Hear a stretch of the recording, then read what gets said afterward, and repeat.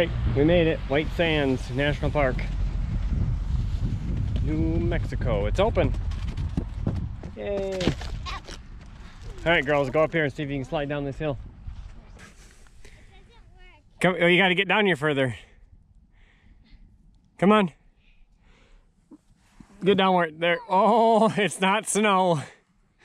They're used to snow, not sand. Uh, it might not work. Nope, it don't work. Here we parked back there. Right next to another reflection. A guy just picked it up by four days ago. Bought it and he's from Arizona, bought went to Texas, picked it up and he's on his way back to Arizona, him and his kid. So that's cool.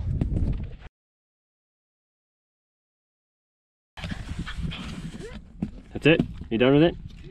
You're not gonna go try to you're not gonna go try to bury it? Huh? Try to bury it. Set it down. Go. Oh!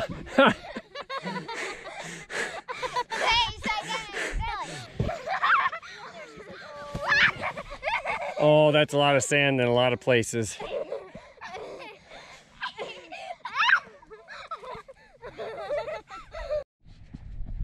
All right, we climbed up a long ways, but that's what it looks like.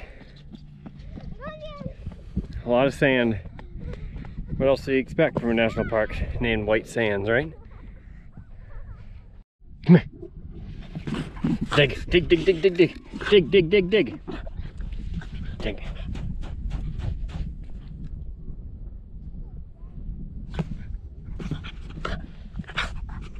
You got me full of sand. And there we are in a mountain of sand. Looks like a camper stuck in the sand. Oh, that didn't happen. Boogie boards, they don't work in the sand.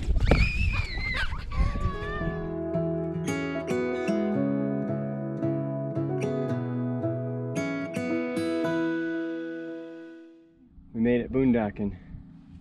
Sierra Vista Trail next to what's that right there? What does it say? La Las Las Cruz?